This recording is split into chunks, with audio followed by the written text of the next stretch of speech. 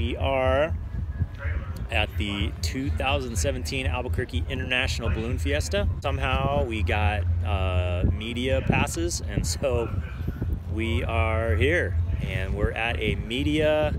Uh, what's it called? Media. The media social. I don't know. I've never been to a media social, but I don't think Macy has either.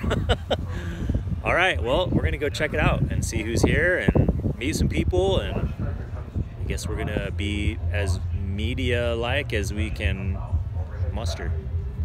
Sorry. So right now we're out on the balloon field. It's huge and it just goes on forever. Um, so basically you wanna show us how far it goes? Just take off running? All right, go for it.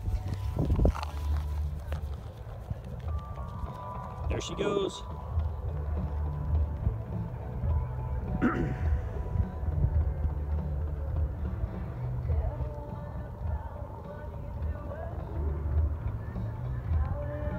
Tomorrow morning, this thing will be jam-packed with hot air balloons inflating and launching, hundreds at a time. So, all right, that's all for now. We'll check in with you tomorrow from Balloon Fiesta Park. Take care, guys. These guys are from Mexico.